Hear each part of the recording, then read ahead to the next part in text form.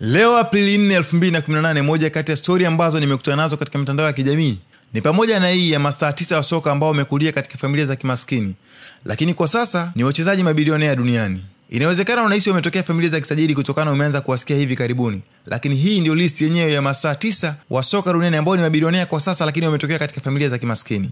Namba moja ni Luis Suarez. Huyu ni staa wa soka wa timu wa taifa Uruguay ambaye kwa sasa anaichezea FC Barcelona ya Hispania. Akiwa na umri wa miaka 12, Suarez alikuwa akicheza mpira pekupeku kutokana na familia yake kushindwa kumudu kumlia viatu vya soka. Suarez amezaliwa katika familia ya watoto saba, yeye akiwa ni mtoto wa nne, na akiwa na umri wa miaka tisa baba na mama yake walitengana. Suarez wakiwa Montevideo aliendeleza kipaji chake cha kucheza soka mtaani na alikuwa akifanya kazi za kufagia ili kuisaidia familia.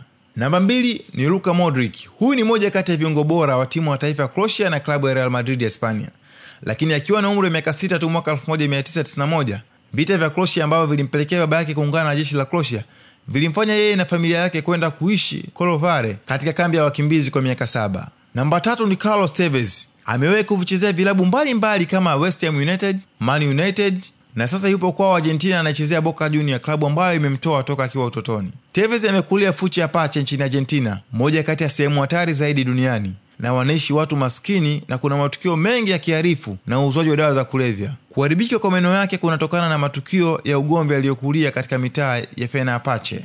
Namba nne ni Cristiano Ronaldo. Kwa sasa ni moja kati ya wanamichezo wa matajiri katika hii dunia, na mara yake ya kwanza anapanda ndege ilikuwa ni wakati anakwenda kusaini Man United. Kabla ya hapo, Ronaldo amekulia katika familia ya kimaskini Ureno, na ilifika wakati akawa analazimika kulala chumba kimoja na dada zake kutokana na ugumu wa maisha, licha ya kuwa umri ulikuwa unamtaka kuwa na chumba chake.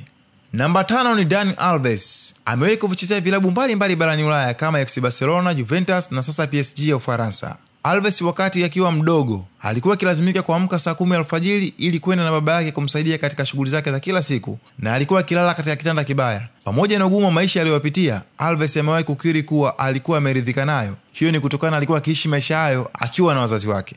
Namba sita, huyu ni Zlatan Ibrahimovic. Amevichezea vilabu mbalimbali duniani kama AC Milani, Inter Milani, FC Barcelona, Man United na sasa ni LA Galaxy ya Marekani. Alizaliwa wilaya ya Rosengard katika mji wa Malmo nchini Sweden. Zlatan amekuwa na sifa mbaya na ametokea katika familia ya kimaskini. Baskeli aliyokuwa anatumia kwenda nao mazoezini ilikuwa ni ya wizi.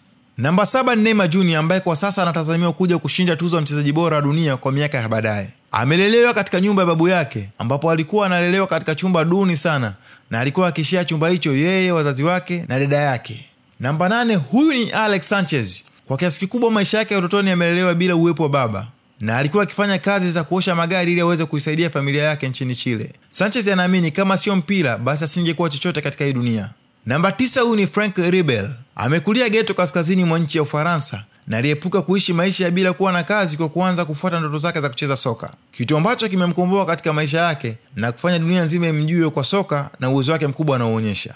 Hii ni Yayo TV Updates. Usisahau kutembelea kurasa zetu za mitandao ya kijamii Facebook, Instagram na Snapchat ni kwa jina moja tu la Miladayo na Miladayo underscore ni kwenye Twitter. Pia usisahau kusubscribe YouTube channel ya Miladayo na kutembelea miladayo.com. Mimi naitwa Ramadhani Mwirondo.